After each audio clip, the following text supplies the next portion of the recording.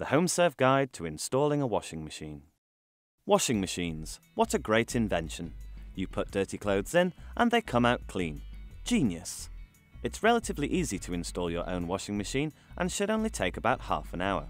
But I don't know the first thing about plumbing, we hear you cry. Well, that's why we're here. HomeServe will show you how to install your new washer like an old pro. Before you start, before you start, you need to get rid of all of the packaging and brackets the machine came with to keep it safe during delivery. Instructions should come with the machine, either on a leaflet or inside the instruction book. And if you've got an old machine to get rid of, make sure you recycle it.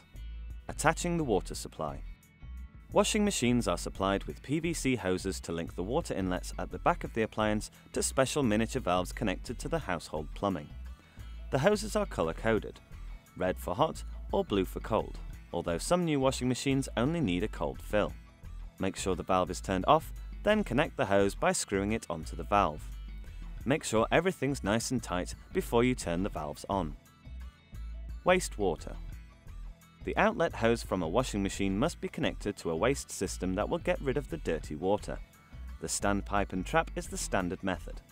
The machine hose fits loosely into the open-ended pipe so that dirty water won't be siphoned back into the machine. Always ensure the open end is at least 2 feet above the floor.